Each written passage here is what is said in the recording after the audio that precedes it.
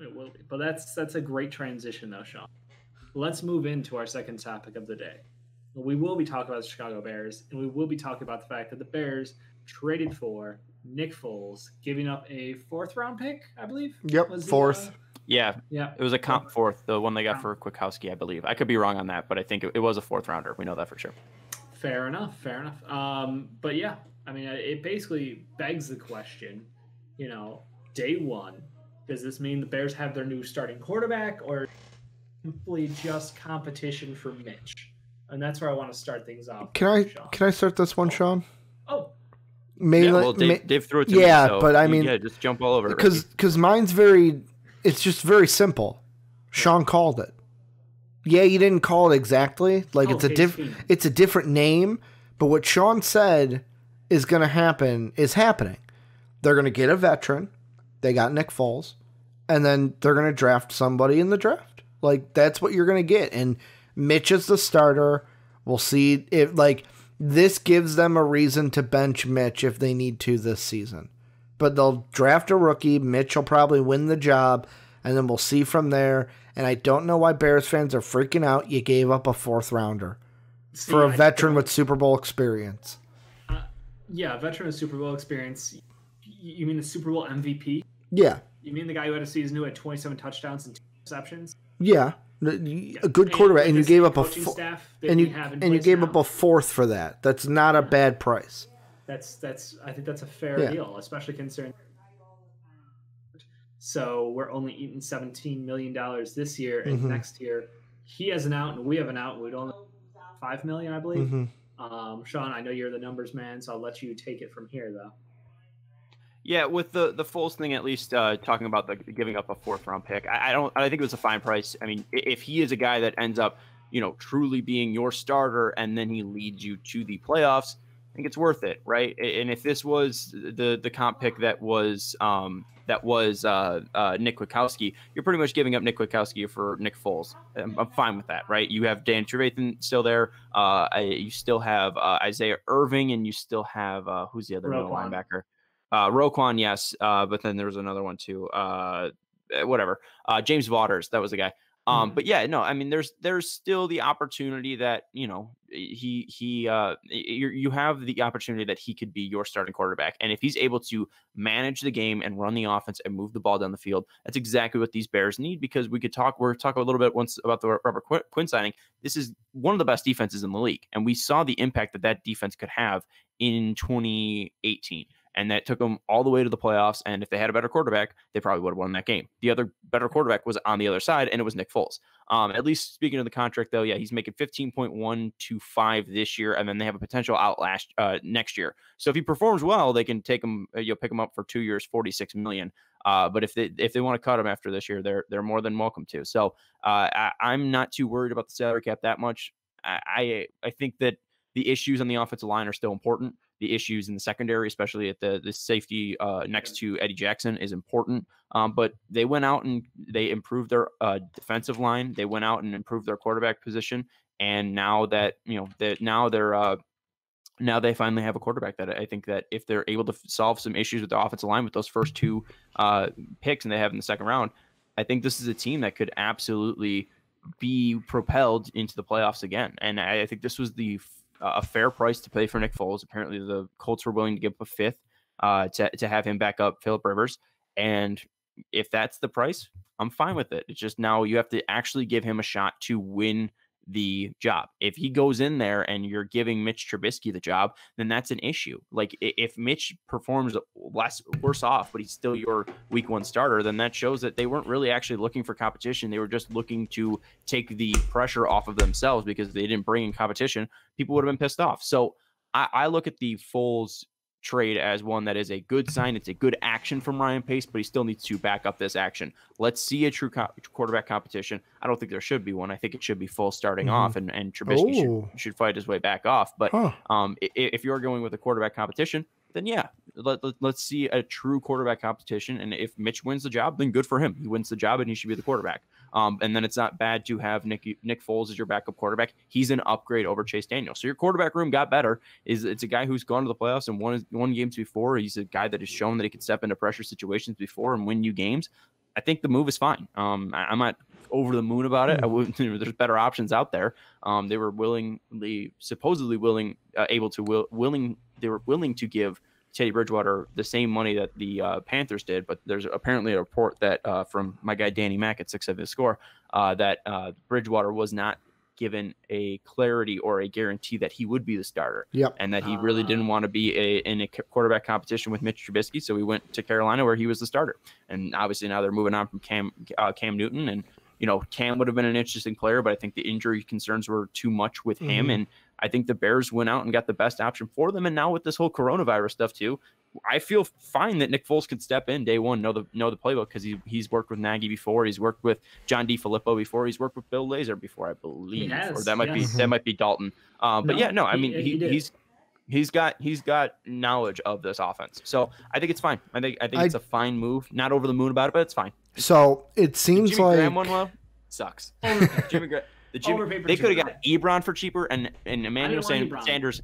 Um, Emmanuel Sanders made the same amount of money as as, Mhm. as Jimmy Graham. That's an issue, but different topic. Yeah, I mean, for me, the way that you're talking, Sean, it almost sounds like you feel like Nick Foles is going to be the starter.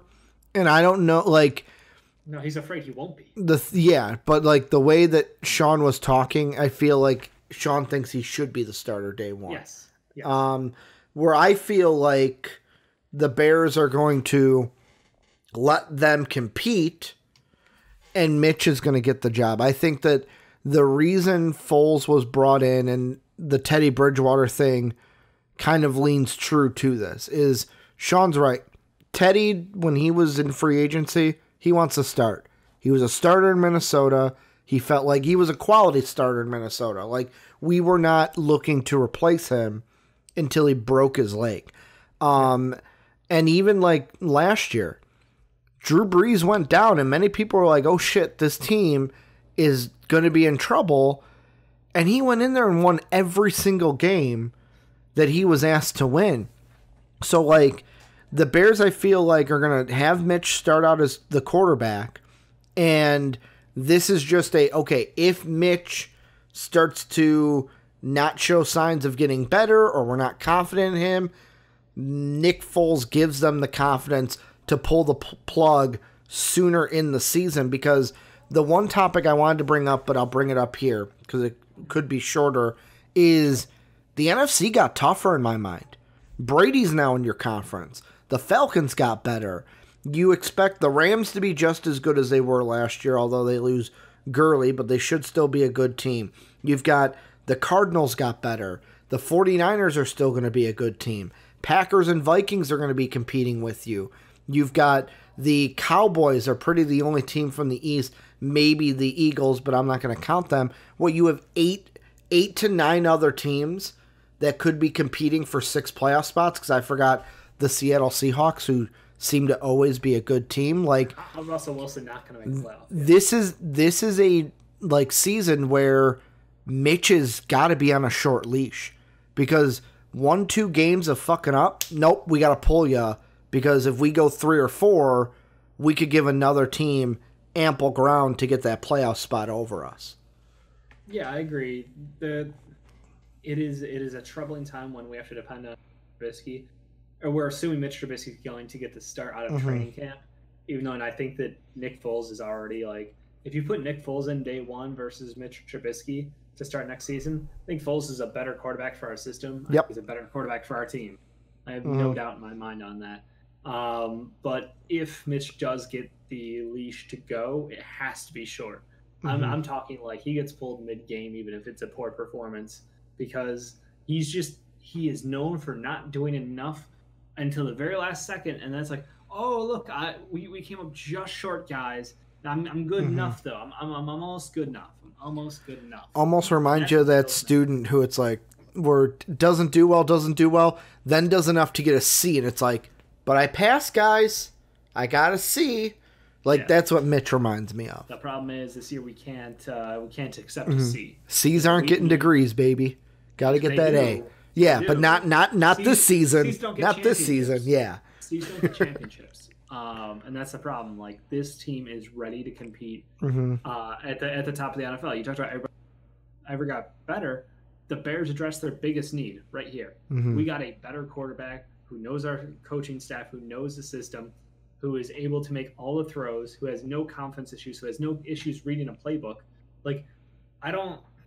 I'm I'm more excited about this because of the fact that like we literally addressed everything we needed to just by getting him. Like, Mhm. we solved our biggest problem from last year. I won't say we addressed everything because we still have several positions in need, Yeah. but we addressed our biggest need by far Mhm. by getting Nick Foles, and I'm I just hope we don't fuck it up. I, I hope we don't remove his opportunity and force Mitch Trubisky to be out there if he's not better than Nick Foles. And I truly Mhm. don't believe that Mitch Trubisky is better than Nick Foles. I think we should just start with Foles and let him play out the season and go from there because he he knows every everything that needs to be done and our defense is so stacked, so loaded. We're gonna talk about this in a little bit, but like there's no reason this team should not be a playoff team and if we aren't if we are a playoff team, there's no reason we can't compete. There, there's no team in the NFL who I'm looking at being like, oh yeah, no, it's them. There, there, there just isn't one. So I understand Foles coming off of an injury, coming off of this contract that he deserved, but like the Jags fucked up and gave it to him, so that's on them. But like, Yeah, and I, I want to address that a little bit too, because you're right that the Jags somewhat fucked up with this contract. I mean, they they bid it against themselves and paid him way Yeah. too much money. But I, I think people also have a false narrative of the fact that oh he got he lost the job to Gardner Gardner Minshew. Well, no, I mean Gardner he, he broke his collarbone in the first game, and then Gardner played very well. Mhm. And then also throw, with you that, know. what's that? he broke his collarbone on a touchdown. It's true. It was a nice throw too. Yep. Um, but with that too, like the Jags, once Foles came came back, that was a different team. Jalen Mhm. Ramsey wasn't on that team. That defense wasn't the same. They went into that season trying to fight for a Super Bowl contender spot, and by the week that, that he came back, they were already out of the playoff race. So there was no reason to go with Nick Foles, pay him that much money when they could go get a draft pick and help out their younger team and try to rebuild. I mean, they they made the decision of all right, this is our last year with this window with this defense, and by week six, it already was closed. So there was no way he was going to, uh, uh, you know, naturally win that job back. Why give reps and time to Nick Foles when he's likely not going to be on the team next year? Where you have Gardner Minshew, who's likely going to be on that team. It's better to give him reps. So I don't think Nick Foles technically lost that job in Jacksonville. I thought it was just the smarter move to go with the younger quarterback when you were already knew by week six you were going to rebuild. So I, I'm not worried about what Nick Foles did in Jacksonville. I'm really Mhm. more worried can he stay healthy? And if he can, then this can be a true quarterback competition. And maybe you know if Mitch wins it out, it could still be something they revisit. You know, week five, week six, week seven, whenever if Mitch underperforms. Well, and the thing that I also looking at exactly what teams the Bears are going to see, we don't know what the order will be, but you know you're going to see your division two times each. The NFC division that they see this year, Sean, lucky for you that Tom Brady went to Tampa because we're going to be seeing the NFC South. So that means you see Atlanta, at Atlanta, at Carolina, Tampa, and um, New Orleans are coming to Soldier Field. Oh shit! Then for the AFC, we play the AFC South. Philip Rivers, Ryan Tannehill and that Titans team, Deshaun Watson and that Texans team, and we're seeing Minshew and that Jaguar team. And then the fill-in games are Giants. We'll see what they're like. Should be a winnable game. Um, the what's the other one? The Rams. That'll be at LA. Um, and then yeah, those are the three. So the Colts, the Giants, and the Rams are your fill-in games. That's a tough schedule to to not be hundred percent confident in your day one starter. That's why if you have any questions about Mitch in the preseason and you're more confident in Foles, Foles should be your day one starter unless you're 100 to 110 confident that Mitch can go day one and not fuck up the season. Yeah, I'm glad you brought up the preseason because that was some shit we did to ourselves Mhm. by not having Mitch get reps in in the preseason. Yep. It said his- like he is a momentum quarterback. He needs to get Mhm. comfortable, and he definitely wasn't for the first couple games of the season. So I think uh, getting a meaningful amount of playing time in preseason, as dumb as that sounds, is necessary for Mitch Trubisky. I don't think Foles. I mean, maybe a series or two here and there, but like Mm-hmm. Mitch should be the one who needs the most reps there. But yeah, I mean that's basically my expectation is it's a quarterback competition.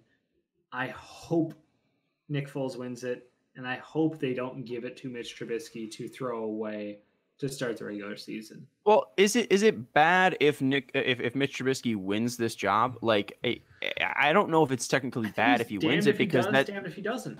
If he I mean, wins the job and then struggles during the regular season, he loses his job. If he wins the job and you know gets to the playoffs and still loses, it'll still be the well, the better quarterback was on the bench. Like I feel like no matter well, what we do, Mitch is going to eat blame from this. I don't know. I think it, I think it depends on how it all plays out. I, I, I think if Mitch Trubisky lasts a full 16 games throughout this season, I, I think that's a good sign for him. And if, if they make the playoffs, that's a good sign. I, I don't think that you know there would be some knee jerk there if if you go to the playoffs and you lose the game, and if Mitch has a horrible game, then he has a horrible game. But you you can't take back the 16 games you just played where you thought he was the best quarterback. Mm-hmm. So I, unless he shows enough cracks to be benched, I don't think that argument's going to hold up. If Mitch Trubisky goes out, wins the job, and plays well for 16 games, uh, that good for Mitch. I mean, that's that's a, that's what the Bears franchise should hope for too. You didn't waste a second overall pick on a dud that lost to Nick Foles. Like, mm-hmm. I, I agree with the saving grace, and but like, also, is it well enough? Is it is it the situation we're winning games, but how are we winning them? Is it us getting carried by our defense again, and Mitch hasn't shown that he can read through progressions? Is it he doesn't trust his arm again? He won't make throws downfield when people are open. They have that uh, separation against the corners of the safeties. Like, I, I, don't just want wins, and maybe I'm having a higher standard. I want Mitch to actually feel like he's progressed as a quarterback mm-hmm. and show those signs now that he's been in the league for several years that he's getting better. I don't want him to just kind of fluke by and hey, our defense, you know, back to being ridiculously lucky and getting interceptions left and right. We're getting turnovers because we've got an insane defensive front seven pass rush now. Like I want to see Mitch get better, and if he's not getting better and we're winning games, even with him struggling, that's when I still want to have the confidence that we're going to make the decision and pull the ripcord and go to Foles. I think the biggest thing too that that helps, uh, you know, at least Foles. If Foles wins this job and Foles performs well, the the, the person that this helps the most, you know who that is? Hmm. Matt Nagy. Hmm. I mean, you you change yes. your offensive coaching system. You change you, you move passing coordinator around. You bring in Bear Laser. You bring in John DeFilippo. And if you finally bring him in, and this is a team that goes 12 and four again with a decent offense, like a better offense, or at least the same offense that it was in 2018, this is mm-hmm. a, a, a, detriment to Ryan Pace because a you fucked up and picked Mitch Trubisky, and he sucks more you know, worse than Nick Foles, and mm-hmm. you missed on Deshaun Watson and and and and, uh, and, and Patrick Mahomes. But yeah. then again, it is a, it's it's a plus to Matt Nagy. You finally gave him a quarterback, and even then, it's still 31 year old 31 year old Nick Foles. Give him someone actual talent, and I wonder what he would do. But if mm-hmm. Nick Foles then goes out and succeeds, that helps Matt Nagy. It might then hurt though Ryan Pace, and then if they go and fire Ryan Pace, which they wouldn't do if they made made the playoffs, they make the playoffs, they're not fire Ryan Pace. Yeah. Right. Um, but if this offense looks great, right? Then that might end up hurting the Bears because then you keep Nagy and then you get rid of Pace, and then you have to bring in a GM. And what if the GM doesn't want Nagy around? So this could cause problems if Nick Foles is good. It's just mm-hmm. if Nick Foles is good, you need to make the playoffs, and then that way both guys keep their jobs, and then maybe you can actually go out and find a find a quarterback that could help you. I'm still hoping they draft a guy like Jalen Hurts and mm-hmm. you have Trubisky, Foles, and Hurts be your quarterback room. You you you let Hurts sit the entire year, and if Foles goes out performs well to take you to the playoffs, then you assess and say, all right, if Hurts is this good, can we have him be our quarterback and still maintain that success? And then we don't have to pay Nick Foles, you know, fucking $46 million over the next two years. So I, I think that Pace will need to at least still show that he can be the GM of this team uh, mm-hmm. over the next couple a couple of uh, a couple of months. Where when the season finally starts, Matt Nagy just needs to prove that his offense will work with Nick Foles, and if it does, he's going to be an NBA an NFL coach again, whether that be in Chicago or whether that be somewhere else, because he showed that he can have you know a subpar quarterback play, take a team to twelve and four in, in, in that year, and still eight and eight last year after not having a quarterback, and still mm-hmm. keeping that locker room together. That locker room still loves Matt Nagy, and Matt Nagy has shown mm-hmm. that he mm-hmm. can lead men. Um, now, can he actually have an offense that performs to the level that he was, uh, you know, hyped up to to do? That's something he needs to show now with Nick Foles. Well, and the thing I know we mentioned the contract for Nick Foles, but yep. Bears fans don't feel angry if the Bears don't do well this season because all the all the cards line up for if you want to clear house at the end of the year, you can and not have to worry about it because Mitch is up, Foles is up.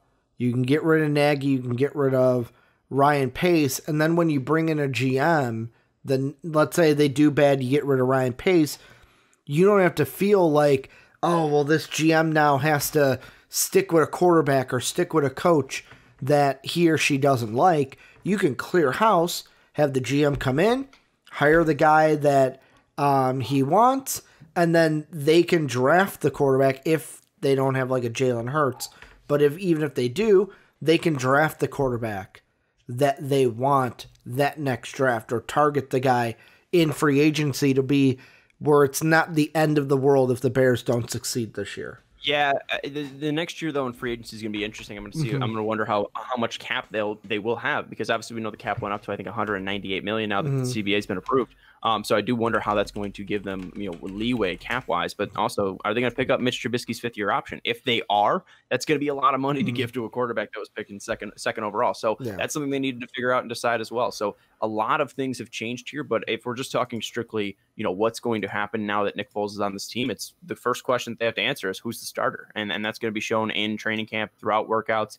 And you know, if if we're looking for somebody with more athletic ability, then obviously that's Trubisky. But I think mm-hmm. the person that gives you the best chance to win right now is Nick Foles, just because I think he knows this offense and he's shown before that he can be a guy that can lead teams down the field, not have high turnover rates, and still mm-hmm. be a mm-hmm. guy that you know can move the ball. That's what you need. You need a better Chase Daniel. We saw what this team did against uh, Minnesota when Chase Daniel stepped in for Mitch Trubisky. That offense looked great, right? But the the the, the inevitable inevitable downfall of mm-hmm. Chase Daniel turned its head where I don't think that Nick Foles will have that large of a drop off like Chase Daniel did. I just think that, you know, it, it, it, ends up being, you know, can he efficiently move the ball, especially if, you know, in turnover scenarios. If, if they get the ball uh, on the other side of the 50, can they punch it in? That's the biggest thing that Nick Foles just needs to prove if he's the quarterback. And I think he can do that better than Trubisky can. And next yeah. year for, I just wanted to throw out free agency.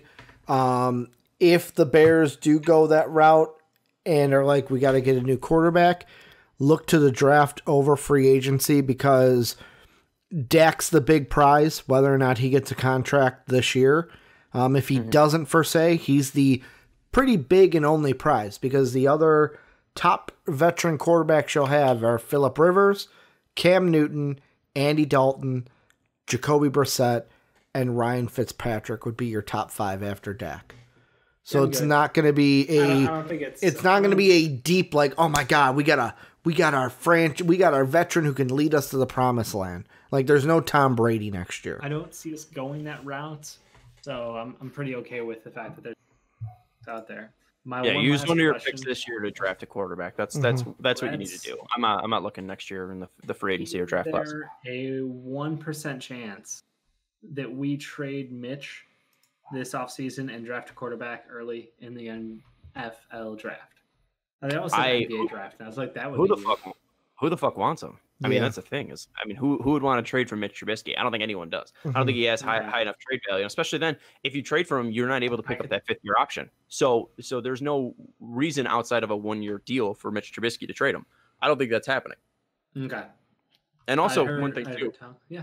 I think there's a benefit, and I'll, I'll, let you finish that. I think there's a benefit to having Trubisky still on this roster because if Foles does go down, you still have an athletic quarterback that still has been in this this system for at least two years now. So how well he can, can he run that? I don't know, but he has proven at least before that he can take you to you know 12 and four, and he's he's been fine in some crunch time scenarios. So I don't think mm-hmm. Mitch being a backup is the worst thing ever, um, mm-hmm. um, at least this year. So I, I don't think there's a, a, need to trade him this year. Gotcha. Yeah, I think zero percent chance he gets traded. All right. I think that'll do it for the Bears offensive side to the talk. Talking of Nick potentially being the new starting quarterback for the Chicago